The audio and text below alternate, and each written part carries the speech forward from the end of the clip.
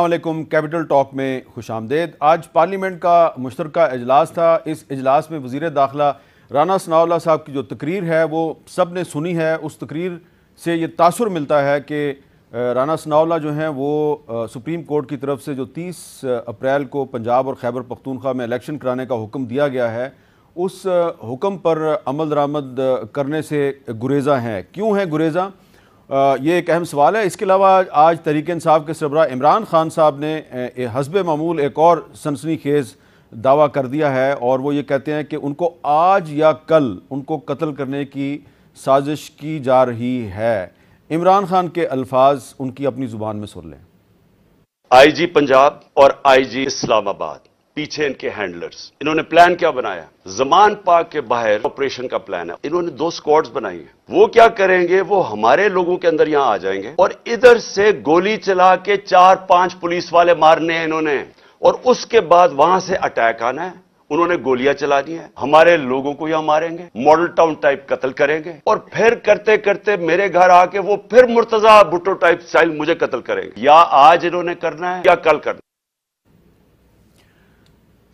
तो ये आप देखें कि इमरान खान साहब जो है वो बरह रास्त दो आईजी साहिबान पे इल्ज़ाम लगा रहे हैं कि वो उनको कत्ल करना चाहते हैं। दूसरी तरफ़, अमरीकी कांग्रेस के बहुत से जो मेंबर्स हैं, वो खुल के इमरान खान की सपोर्ट में सामने आ गए हैं। आज भी एक कांग्रेस की मेंबर हैं, जैकी रोज़न।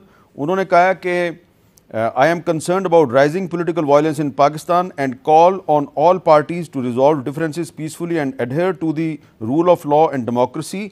और इससे पहले ज़लम खलीलजाद जो कि अफ़गानिस्तान में इराक़ में और यूनाइटेड नेशंस में अमेरिका के सफ़ीर रहे हैं वो पहले भी कुछ ट्वीट्स कर चुके हैं आज भी इन्होंने कही हैं ट्वीट्स वो कहते हैं जी there are indications that Pakistan parliament which is controlled by the governing uh, coalition might well ask the Supreme Court to disqualify Imran Khan and running for election and even prohibit PTI in the next few days. जलम खलील साहब कौन हैं? इसके बारे में भी हम बात करते हैं। माजी में वैसे डॉक्टर शरी मजारी साहबा जो तरीक इंसाफ की रहनुमा हैं। वो इनके बारे में बड़े सख्त रिमार्क्स देती रही हैं। उन्होंने एक ट्वीट किया था 2018 में जब वो ह्यूमन राइट्स की फेडरल मिनिस्टर थी। This time perhaps you should bring a less arrogant and hostile mindset when you visit Islamabad यानी कि उन्होंने जलम खलीलजाद को एरोगेंट और होस्टाइल माइंडसेट का मालिक भी करार दिया। इसके बारे में मैं आपको ये भी बताता चलूँ कि ये जलम खलीलजाद साहब की एक, ये किताब है दी एनवॉय ये किताब 2016 में शाया हुई थी और इस किताब में उन्होंने वो तमाम बातें 2016 में लिख दी थी जो वो आज पाकिस्तान के बारे में कह रहे हैं। एक तो इन्होंने इस किताब में अपने सी आई ए के साथ ताल्लुक का एतराफ़ किया है। सफ़ा 208 पे कहते हैं कि पाकिस्तानी फ़ौज अमेरिका के साथ डबल गेम खेल रही है। सफ़ा 209 पे कहते हैं कि मैं जब पाकिस्तान के ख़िलाफ़ बोलता हूँ तो वज़ी ख़ारजा कोलन पॉल, वो मुझे रोक देते हैं कि पाकिस्तान के ख़िलाफ़ बात ना किया करो। सफ़ा दो सौ नब्बे पर इन्होंने इतराफ़ किया है कि 2008 में जब पीपल्स पार्टी की हुकूमत आई तो इन्होंने अपना असर रसूख इस्तेमाल करके यूनाइटेड नेशंस में पाकिस्तान के जो एम्बेसडर थे, मुनीर अकरम साहब, उनको चेंज करवाने की कोशिश भी की।